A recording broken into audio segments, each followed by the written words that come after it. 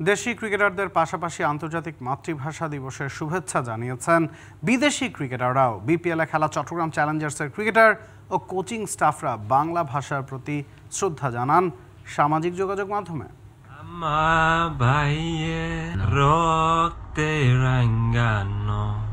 একুশে ফেব্রুয়ারি আমি কি বলিতে পারি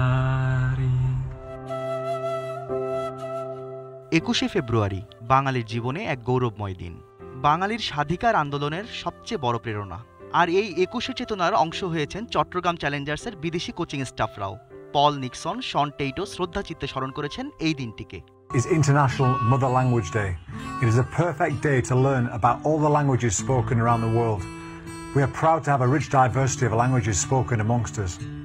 And how do you say mother in your mother tongue? Happy International Mother Language Day. Just remember that your language is also just as strange as all the others. It's just that you're used to your own language.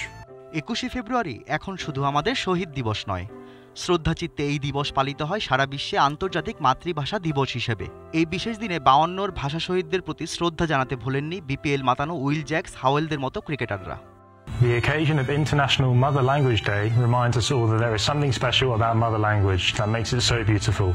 Warm wishes on this day to all Chattergram Challengers fans. Whenever you think of a language is strange, just remember yours is just as strange. It's just that you're accustomed to it. Happy International Mother Language Day. The occasion of International Mother Language Day must be celebrated with high spirits because every language deserves a lot of respect. দেশের গণ্ডি পেরিয়ে চ্যালেঞ্জার্সের বিদেশি ক্রিকেটারদের মতোই অন্য ক্রিকেটাররাও একুশকে স্মরণ করুক বছর জুড়ে, এমন প্রত্যাশা সকলের। Shahriar Hossain, DBC news desk.